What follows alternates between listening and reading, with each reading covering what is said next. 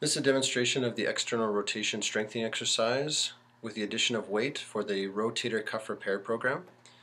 Get into a lying position where you're lying on your unaffected side and then tuck your elbow into your side.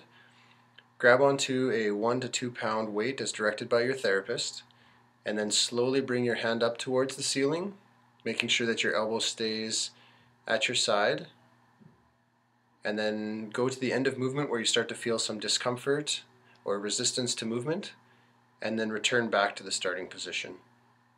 As directed by your therapist, they might direct you to do a concentric eccentric approach to the exercise, which would mean five seconds up one day and one second down, and then the next day would be one second up, five seconds down. So the first demonstration from the demonstrator will be the five seconds up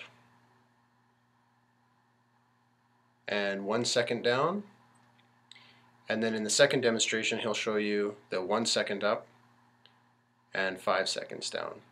This will be directed by your therapist if they feel that you're able to do this or that you should be doing this. And again, this should be completed for four sets of five repetitions, making sure that you have a 30 second break in between each set.